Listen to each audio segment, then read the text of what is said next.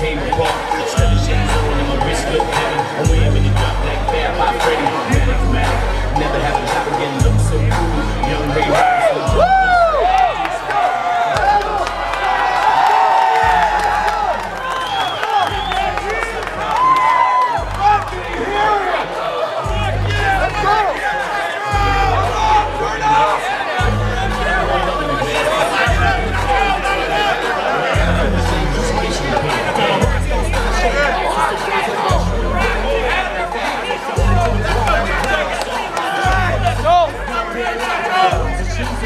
number one, who won between Dallas Langston and Sam Tabor?